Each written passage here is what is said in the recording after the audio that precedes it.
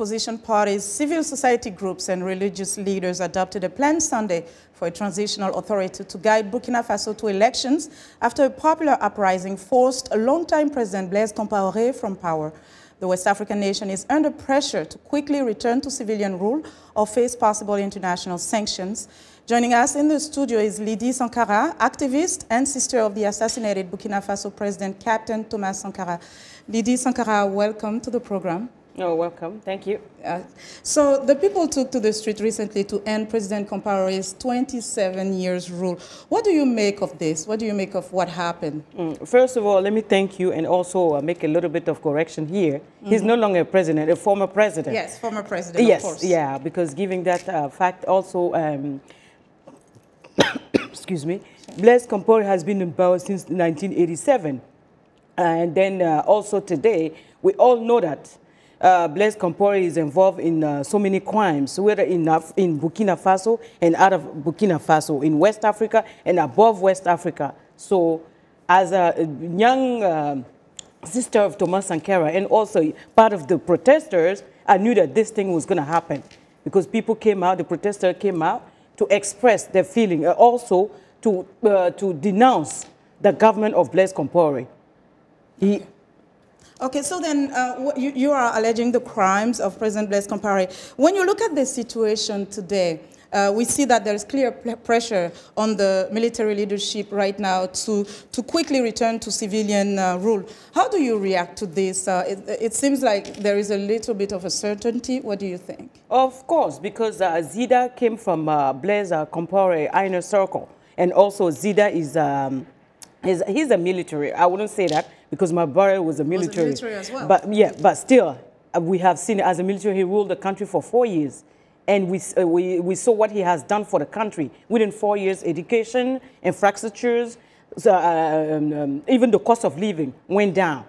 So we, you cannot even compare the, the, the 1983 till 1987 government to Blaise, uh, Blaise Compaoré government. And Zida also, he has to release the power and give it to the civilian because it was not a coup. Yes. It's not a coup here. Mm -hmm. So, and he knows that. That's why we want him to give the power back to the civilian, to the protester, the one who asked Blaise to leave the power. He should do that. So then, when you look at the priorities moving forward, uh, you are advocating for this civilian government moving forward. What do you think the focus should be? In economy, education, health, and also infrastructure today in Burkina Faso. Because if the economy, economy is booming, of course, we have jobs.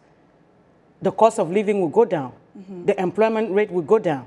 Everybody will be happy. That's what we are looking for.